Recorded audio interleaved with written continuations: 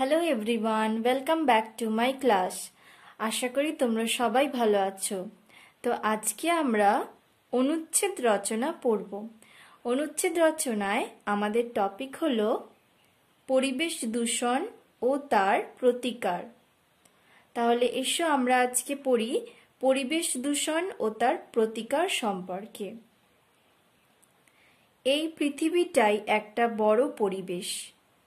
আর আমরা এবং আমাদের চারপাশটা তার ক্ষুদ্র অংশ। সুতরাং পরিবেশ দূষণ মানেই সমগ্র পৃথিবীর অসুখ।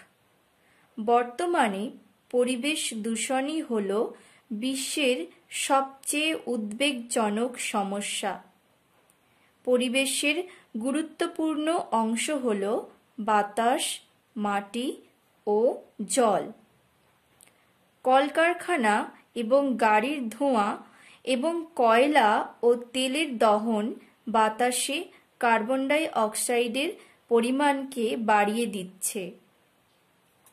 রাসায়নিক সার শহরের নোংরা আবর্জনা মাটিকে বিষাক্ত করছে। আর পয়ঃপ্রণালীর জল এবং বর্জ্য পদার্থ নদীর জলকে করে তুলছে দূষিত। এই দূষণের ফলে বাতাসের ভারসাম্য নষ্ট হচ্ছে। প্রকৃতিতে নানা পরিবর্তন দেখা যাচ্ছে। পৃথিবীর তাপমাত্রা বাড়ছে। দুই মরুপ্রদেশের বরফ গলে যাচ্ছে। বৃষ্টিপাত অনিয়মিত হয়ে পড়ছে।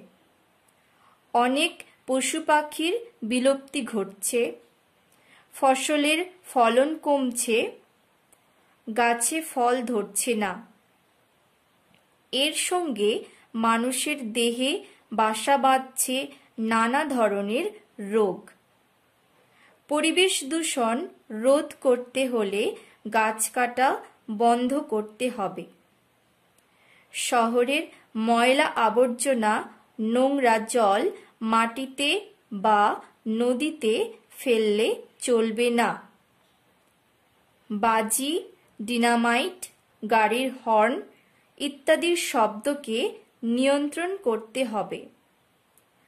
প্রচুর পরিমাণে গাছ লাগিয়ে পরিবেশকে রক্ষা করা যায়।